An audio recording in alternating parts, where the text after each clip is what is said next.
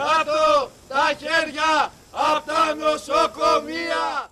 Η υγεία στα πρόθυρα της κατάρρευσης. Οι δομές υγείας σε όλο το νησί και οι εργαζόμενοι συνθλίβονται υπό το καθεστώς των ελλείψεων και των περικοπών που απαξιώνουν το εθνικό σύστημα υγείας, καθιστώντας απόλυτα επισφαλή τη λειτουργία νοσοκομείων και κλινικών. Μια γροθιά θα δώσουμε τον αγώνα να μην περάσει το σχέδιο για κανένα κλείσιμο νοσοκομείο, καμιά συγχώνευση κλινική ή τμήματος. Ζητούμε προσλήψεις, χρηματοδότηση και ουσιαστικά ανθρώπινες συνθήκες εργασίας.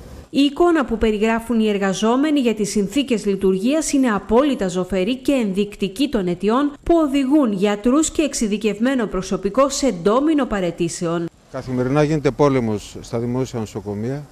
Χάνονται καθημερινά άνθρωποι περιμένοντας ένα στενοφόρο που δεν έρχεται ποτέ, περιμένοντας σε μια λίστα χειρουργείου που κρατάει χρόνια, νοσηλευόμενοι σε μια παθολογική κλινική χωρίς γιατρούς. Το μέγα πρόβλημα όμως του νοσοκομείου είναι ε, η έλλειψη του νοσηλευτικού προσωπικού, βοηθητικού προσωπικού ε, που υστερεί δραματικά το νοσοκομείο. Οι υγειονομικοί της Κρήτης δηλώνουν αποφασισμένοι να δώσουν από κοινού ίστατη μάχη για να περισσώσουν ό,τι απέμεινε από το σύστημα υγείας. Εν ώψη των ανακοινώσεων της κυβέρνησης την ερχόμενη εβδομάδα για τον αποκαλούμενο νέο χάρτη της υγείας στη χώρα, που προβλέπει όπως προειδοποιούν κλείσιμο νοσοκομείων και κλινικών σε όλο το νησί. Και θεωρούμε ότι ε, σκοπός ε, των παλωμάτων ε, είναι να μεταβιβαστεί το κόστος από το κράτος στους ίδιους τους ασθενείς. Αυτό το σκοπό εξυπηρετούν και τα σχέδια για το νέο ΕΣΥ που περιλαμβάνουν συγχωνεύσεις νοσοκομείων και μετατροπή τους σε νομικά πρόσωπα ιδιωτικού δικαίου. Η δημόσια υγεία είναι υποχρέωση του κράτους και δικαίωμα του κάθε πολίτη να τη λαμβάνει ποιοτικά, αποτελεσματικά και δωρεάν. Πρώτα στο στόχαστρο τα νοσοκομεία του Λασιθίου, όπου ήδη η έλλειψη γιατρών κατεβάζει τα ρολά σε κέρια τμήματα των νοσοκομείων. Οι εργαζόμενοι περιγράφουν τραγελαφικές συνθήκες.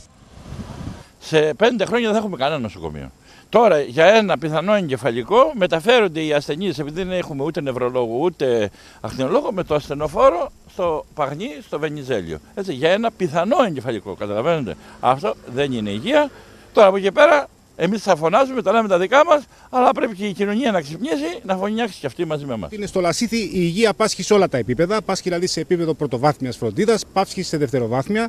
Το νοσοκομείο Σιτίας, όπως και το νοσοκομείο της Ιεράπετρα, σιγά σιγά εκφυλίζονται σε κέντρα υγείας. Ενδεικτικά θα σας πω ότι στα επίγοντα λειτουργούμε μόνο με τέσσερις γιατρούς για όλο το μήνα, τέσσερις γενικούς γιατρούς, με έναν αναισθησιολόγο, έναν ε, ακτινολόγο, έναν παθολόγο και δύο καρδιολόγους. Οι γιατροί και νοσηλευτές μιλούν με αγανάκτηση για τις εξουθενωτικές συνθήκες δουλειάς και δεν δέχονται τις λύσεις μπαλώματα που επιστρατεύουν το Υπουργείο, οι διοικήσεις των νοσοκομείων και η υγειονομική περιφέρεια. Τον Οκτώβριο θα έχουμε πλέον μόνο έναν ακτινολόγο.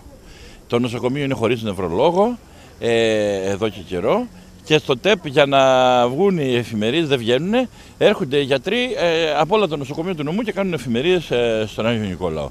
Και στους εργαζόμενους χρωστούν άδειες από το 2018.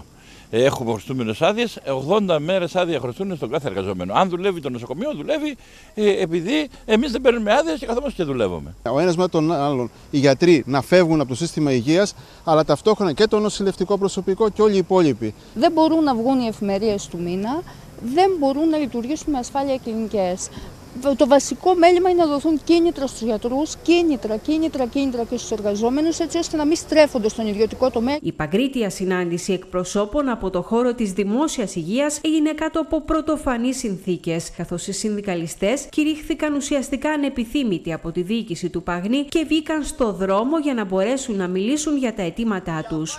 που πήραμε όταν καλέσαμε να μπείτε μέσα τα μέσα μαζικής ενημέρωσης ήταν από το διοικητή του νοσοκομείου ότι κακώς μας χορηγήθηκε ο χώρος να πραγματοποιήσουμε αυτή τη σύσκεψη και ότι κακώς γίνεται το Πανεπιστημιακό Νοσοκομείο και το Σωματείο μας κέντρο των εξελίξεων στην Κρήτη και το χώρο της υγείας.